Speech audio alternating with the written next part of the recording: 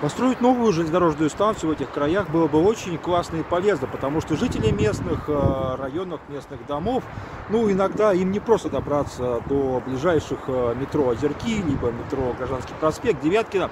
И вот здесь, здесь вот очень было бы классно и хорошо и полезно построить новую железнодорожную станцию, допустим, проспект Культуру ее назвать.